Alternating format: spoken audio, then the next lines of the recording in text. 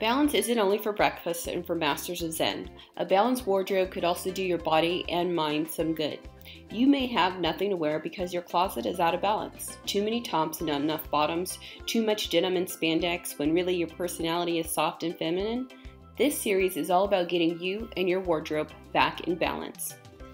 So you can think of your wardrobe like the food pyramid. We're all familiar with that, where the base of the pyramid, they're telling you for nutritional purposes, the base of your diet should be fruits and veggies, right? We're familiar with that. Well, you can think about your wardrobe in a similar sense. You can see the pyramid that I have here. The base of your wardrobe is going to really be tops. The reason for that is it's going to give you the most mix and match options. You've probably noticed that you can put on a new top with the same old pair of pants and people think you have a brand new outfit simply because you swapped out the top. So when you look in your closet, the area that contains your tops should really be the largest area of your closet again to give you the most bang for your buck as far as mixing and matching and making more outfits. The second largest area of your closet is going to be the pants and skirts for the similar reason. It's going to allow you to mix and match. Now here on the screen I have it shown in balance like you should have an equal amount of pants and skirts that may not be true for everyone that's listening to this video. The reason why it's going to depend on your lifestyle, it's going to depend on your body shape, it's going to depend on your personality type, um, how much of each you should have. But really, the next largest area of your closet would be what you would consider the bottom, so your pants and skirts.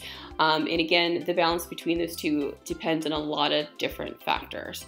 But again, that should be the next largest area simply because it's going to allow you to mix and match so much more and give you more outfits. And that's the way it's going to look like you have this huge closet when really you just been very selective and careful about um, how many tops and bottoms that you have so you can mix and match more than anybody else.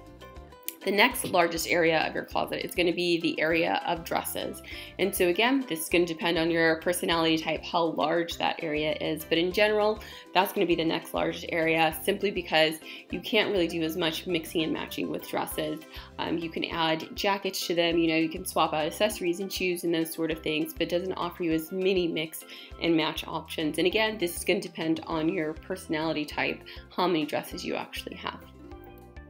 And then last but not least is of course the accessories. I always think of these as like the sprinkles on top of a sundae. So you just sprinkle them into different outfits to really make them pop and come together and look very, very put together. I mean, that is really what takes why a fashion spread or a fashion cover or a fashion magazine cover looks so much different than just regular people out on the street. It's because the way the accessories have been picked out to go with the outfit. So it is very important, but it'll probably be the smallest area of your wardrobe. And when I say accessories, I mean everything. I mean um, purses, belts, earrings, necklaces, all of that as accessories. Okay, so already just when the way that I described this, you might see areas that you may need to invest more in in your wardrobe to give you the most flexibility and to make you more stylish and look like you have more outfits than you really do. So as I mentioned before, it could also be dependent on your personality type. So in this video series, there's of course many personality types. We all know that. I'm sure you're familiar with that if you um, go to a workplace every day that there are many personality types. But for this video series, I only focused on four. So it's feminine, rocker, athletic, and bohemian. So the first three we've covered in previous videos in the series. In this video here, I'm going to focus on the last one, which is bohemian. If you're unfamiliar with that term, bohemian really started um, with the 1960s and the hippies era, era. So think of like hippies. Um, however, bohemian has become more and more of a style aesthetic, I would say in the last decade or so, 10 to 15 years, and you've probably heard the term boho chic. When you hear that, it just means bohemian chic. You can Google it. There's lots and lots of outfit options out there for it. Lots and lots of um, photo shoots, magazine spreads, celebrities. It, it's a thing now. The very bohemian aesthetic. And so this may be you if you have more of a hippie vibe to you, more of a flower child um, you may, you know, this may appeal to you. So what I'm going to show to you is items that you should have in your wardrobe. So again, you may be struggling to find things to wear in your wardrobe because it doesn't contain any of these items and you wonder why it's so hard. Well, if you're more bohemian, you need to have these certain pieces so that you do go to your closet and you do have many options that you want to wear because they represent you. So here we go. So the first for bohemian is the idea of items that have crochet. And I was really struggling with this because it was like the, the crochet detail can show up in so many different things um, in in tops in accessories in dresses as I've shown here. Um, and then I was struggling if I should make this crochet or maxi dress because really if you're bohemian you should have a lot of maxi dresses in your wardrobe. It's going to be so great for you because it's going to be something you're going to want to throw on again and again to wear. It really really is going to appeal to you. However this maxi dress here on the screen you can say, see that it has a little bit of the crocheting detail in the ruffles up towards the top and then you can see that line of kind of crochet across the bottom of the skirt. So it's just going to be those little details. You don't need a whole dress that's just crocheted, but these little details on tops and dresses and skirts are going to lend itself to your more bohemian aesthetic. So even your like a bright red dress, how is that bohemian? It has the little crochet details in it that makes it a little bit more laid back, a little bit more bohemian. And in a little while, I'm to actually make an outfit out of this particular dress. The next thing is sheer is also something for you. So you can see here this top has, again, more of that bohemian vibe. vibe. It has sheer, think bohemian light, flowy. It's very um, similar to a, a, feminine aesthetic, but a little earthier, a little more, like I said, flower child to it. Um, so you can see here, it's very, it's very light, very flowy, the little sheer still very feminine. It has the little tie at the neck um, where you can tie the strings and it has the little tassels up there. It lends itself very much to the bohemian aesthetic. So again, in your closet, you're gonna want items that have this little crochet details, items that have um, sheer pieces to them. Again, that's gonna play up to your personality and you'll find yourself drawn to more items in your wardrobe. The next is the idea of fringe with I I really love. And this is a little bit, can be a little bit rock and roll as well.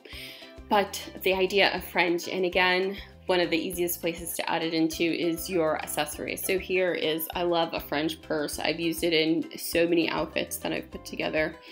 Um, but and you should definitely include one of these in your wardrobe if you have this bohemian aesthetic. But this fringe can also show up in accessories, so you can see it in bracelets, you can see it on your boots, you can see it in earrings, and so again, this little detail you can see it on jackets. These are little details that you want to incorporate into your wardrobe if you have this aesthetic. And last but not least is prints. So in general, the bohemian aesthetic, it is going to be these very colorful but still earth tony sort of prints to it. So if you look at your closet and you have all these solid colors and you wonder, you may be wondering why you're not drawn to them as much, it's because you really like more of the colorful print, you need to incorporate that into your wardrobe to bring it more of that bohemian vibe um, that you are drawn to. So again, you could just open your closet doors and kind of see what kind of colors and things that you see there um, to determine if maybe that's why you have nothing to wear. You have none of these fabulous prints. And I love all these bohemian prints. And if you want to know more about that, you can just go to Google and type in bohemian print and see all the examples that show up there. So again, like I said, the best place to start is to actually go and shop in your own closet to figure out where you might have gaps in your wardrobe. So I have prepared these kind of shopping lists for you. Think of them, I call them fashion facts, like nutritional facts, to make sure that you're covering the bases based on your personality type. So you can just visit www.aishajones.com forward slash balanced, and you can click on the image there to download this little shopping list so you can go shopping in your closet first. So like I said, you're going to look in your closet. You're going to see, do you have items that are crochet? Do you have items that are sheer? Do you have any fringe? Do you have prints? All, if you don't have any of these things, you want to go start acquiring them to incorporate into your wardrobe. And again, you want to look at in all the basic food groups or all the basic fashion groups, tops, pants, skirts, dress accessories. Have you incorporated these items to again, identify where the gaps are so you can start acquiring those items and building out this bohemian wardrobe of your dreams and all of a sudden you have a lot of things to wear and you're so much happier in your skin because your closet speaks to you. So I promised you that I put together an outfit um, based on this dress. So again, even though this is a solid color dress, when I said, again, bohemian vibe is going to be more print, this one was able to incorporate that little crochet into it to make it a little bit more bohemian. And so then what I did. For accessories, you can see I brought in the fringe purse with it and it matches these sandals to wear with the dress these great like fe red feather earrings to wear with it and then incorporated this silver and turquoise oversized ring with it. Um, with this outfit as well, you can have great turquoise um, necklace, a turquoise earrings as well to wear with this outfit. Because again, I was going, oh, do I want the red feather earrings or do I want turquoise earrings? And really, you could go either or. Again, think, you know, bohemian, earthy, turquoise things from the earth, all of that incorporated into the wardrobe. It's going to be more of a bohemian aesthetic. And again, I want to remind you to please go and download the shopping list. So again, you could go shopping within your own closet and start trying to fill in the gaps that you have. Um, and like I said in previous videos, we've covered feminine, rocker, athletic, and bohemian you download there, you will get all four of them, and then you just follow along which, which to whichever one speaks to your personality. So again, look at the previous videos in the series. If you think you're more feminine, I gave some great tips there, gave you your shopping list. If you're a rocker, again, your tips, your shopping list, things that should be in your wardrobe. Athletic, covered that one, and this is the last video for Bohemian. Hopefully you have enjoyed the tips in this series.